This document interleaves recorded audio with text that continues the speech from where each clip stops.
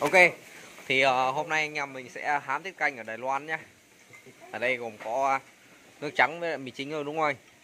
Nước sôi để nguội. Đấy nước sôi để nguội. Ở Kia là tiết canh mình đã hám con mũi rồi. Thì ở đây là gồm có phổi và một ít um, xương sườn và một ít xương sống băm. Bố tay bố tay. Bây giờ mình sẽ hám nha Tí anh em mình xem kết quả xem thế nào nhé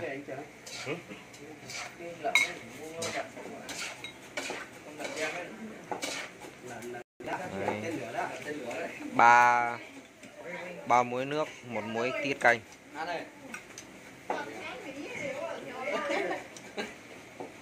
chứ cả ni ni mình Thái Lan rồi mà ni ni cản chư mà不敢chư 那是什么水啊？ chu đâu chu à chu tờ 猪水啊？ chu chu tờ 加那个什么？热水加那个冷水。 台 Sao anh mới hiểu? Tao tao biết.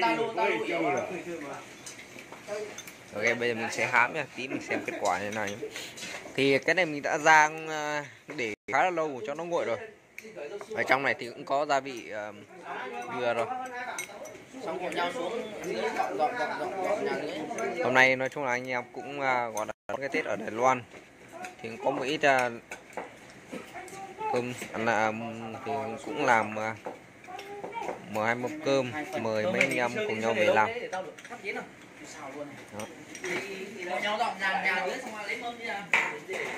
Đó. À.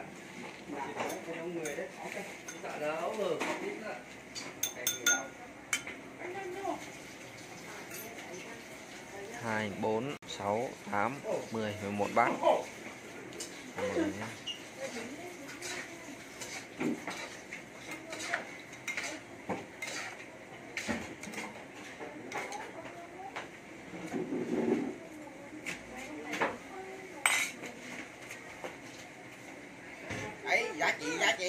Để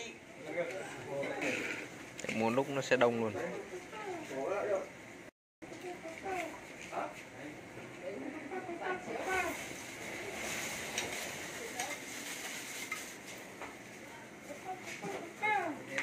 阿哥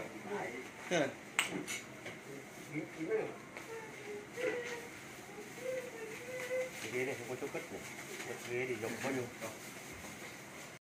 cái ghế này có khi cho vào khi vào phòng. chỗ của mình này hay đấy. Khi vào phòng này. Đi vào phòng mình rồi. Thì cái ghế múc kia vào phòng dùng này để tí kéo ra Đẩy đấy.